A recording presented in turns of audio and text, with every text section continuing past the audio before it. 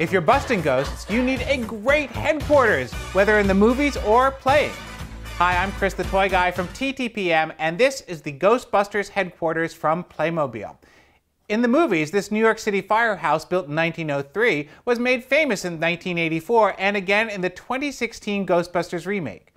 For Ghostbusting Kids, Playmobil has created a terrific replica of the firehouse with 228 pieces and three levels of play. The assembled garage stands about 18 inches tall, and there are tons of detailed accessories that kids can use to create their own imaginary ghost busting adventures and experiments. The playset also includes Playmobil figures of Janine, Stantz, Tully, Spengler, and the Library Ghost. The level of detail is impressive, and the design makes it easy for kids to play with all the figures. You can even park the Playmobil Ecto 1, sold separately, on the bottom floor.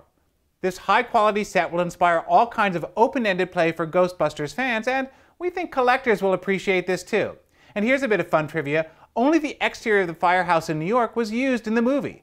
Interior scenes were shot in a studio and in an old firehouse in Los Angeles. For play, this is one outstanding, versatile, and fun-filled location.